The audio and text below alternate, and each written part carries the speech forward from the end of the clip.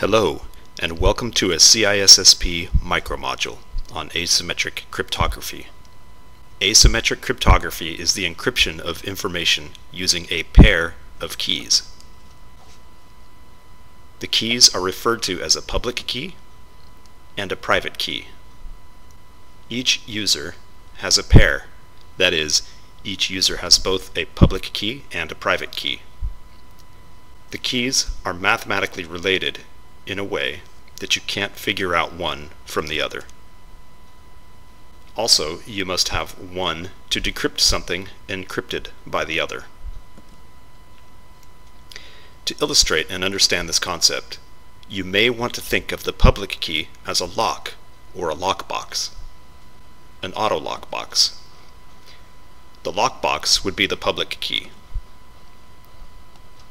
Think of it as an open box that locks automatically when something is encrypted with it. Once the data is encrypted, only the private key can decrypt it, or only the private key can open the box. Anyone can have the public key, meaning that the public key is publicly available and it will not jeopardize the confidentiality of the data. The private key is used to decrypt information that was encrypted with the public key. That is, the key that opens the lockbox. Nobody should have or be able to guess this key. So again, the key pair are mathematically related so that the public and private must be used at opposite ends of the transmission. Thinking of this with the auto lockbox example, only a private key can decrypt a message that is encrypted with its corresponding public key. And only a public key can decrypt a message that is encrypted with its corresponding private key. Asymmetric cryptography provides the following services confidentiality, authenticity. So remember the example used for symmetric key cryptography where confidentiality of Alice's recipe was achieved using the same key or symmetric key cryptography. Let's use the same scenario to show how confidentiality can be achieved using asymmetric cryptography. Alice has a recipe that she wants to send to Bob.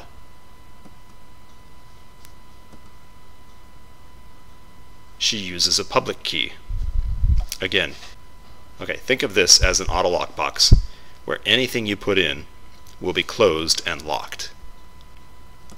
So this creates the ciphertext that Bob can only decrypt with a corresponding private key. This means that the public key needs to be Bob's, and the private key also needs to be his. So the public key and the private key need to belong to the recipient to achieve confidentiality.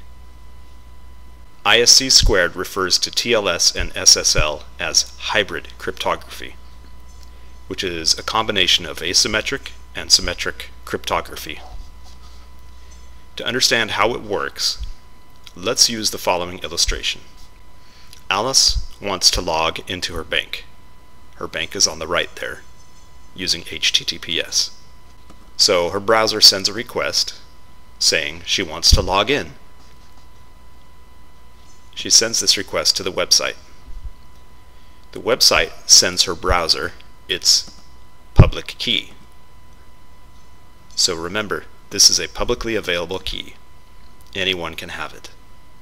Because once they put something in there, or once they encrypt something, the only thing that can encrypt it is the private key.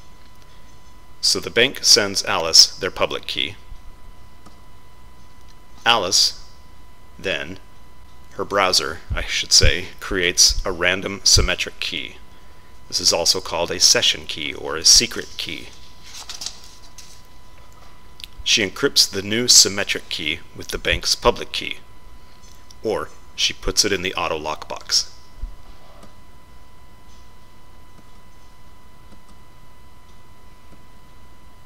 And she sends it to the bank.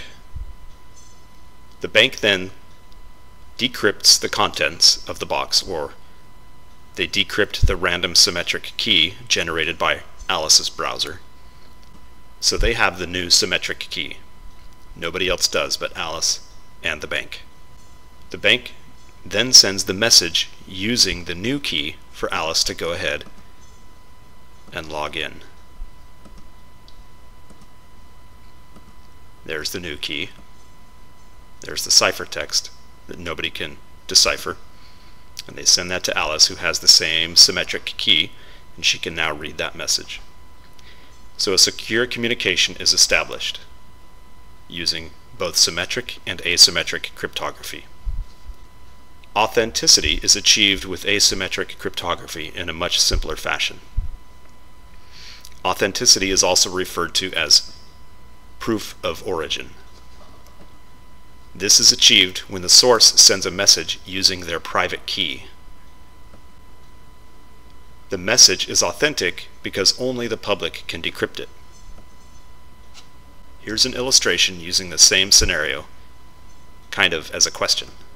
So, if Alice wants to put her recipe, if Alice wants to publish her recipe and prove to the world that it came from her, which key should she use? The answer is she needs to use her private key. And why is that? Because that way the public can decrypt her message using her public key, which can be given freely away to the world. Now remember, let's go back here. This concept of a lockbox is just for teaching purposes, this is actually a number. It's a random, it's a, it's a value. Same with this key over here. So to calculate the number of keys needed for an asymmetric system, all you do is you multiply the number of users times 2. It's important to know the difference between symmetric and asymmetric formulae. We hope this video has been helpful. If there are any questions, comments, or corrections, please leave them in the boxes below. Thank you and have a great day.